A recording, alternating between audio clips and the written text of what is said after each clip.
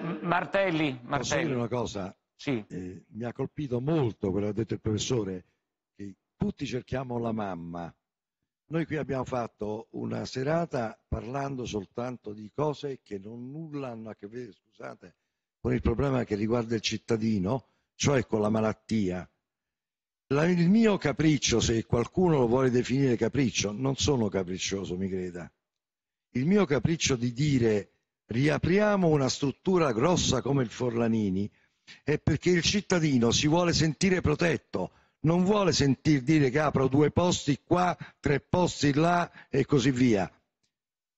Non riaprirete, non ha importanza, ma dategli una speranza. Cioè, questi cittadini devono essere rassicurati. Se noi non li rassicuriamo, parliamo, non arrivano le mascherine, è- questo è un dramma.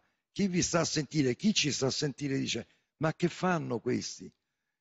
Io il Foranini l'ho difeso, l'ho difeso sempre a prescindere dal Covid-19. Lo diciamo, lo diciamo perché dopo faremo anche vedere le immagini. no? È uno degli storicamente nato nel 1934 e porta il nome di uno degli, delle- di uno dei Forlanini. più grandi scienziati italiani, moderni, Certo, no? Quindi, Morelli e Foranini, tutte e due. Certo. Chi ha scoperto il bacillo poi. eh. certo, lavorava con Il Koch, certo, con un certo, Nobel. Certo.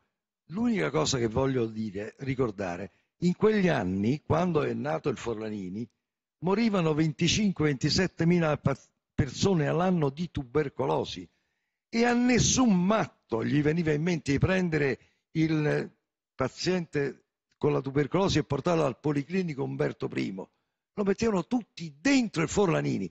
Se lei vuole vincere una battaglia, non deve dis- mettere di qua e di là, perché succede che se lei mi mette un altro ospedale, due persone, quelli infettano pure l'ospedale. Quindi, scusi se dico una cosa, non si può ristrutturare. A- oggi al telegiornale ho sentito che a Milano 150 operai in una settimana hanno ristrutturato un reparto e ci manca una settimana Anche a Napoli ho visto